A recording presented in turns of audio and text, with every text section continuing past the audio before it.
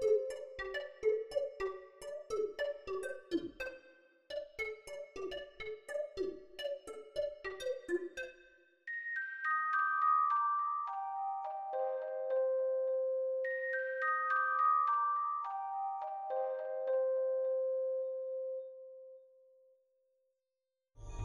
The radar that we've been flying around Saturn and passing by Titan periodically, we've been able to map out the surface uh, brightness as the radar sees it. We see geologic processes that are uh, very similar to what we see on the Earth.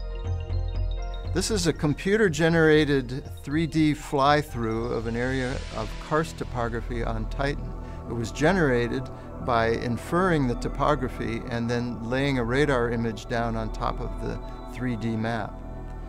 This area is an area called Sikun Labyrinth on Titan. It's an area of karst topography very similar to the karst topography we find on Earth, especially in places like Jamaica, Puerto Rico, or China.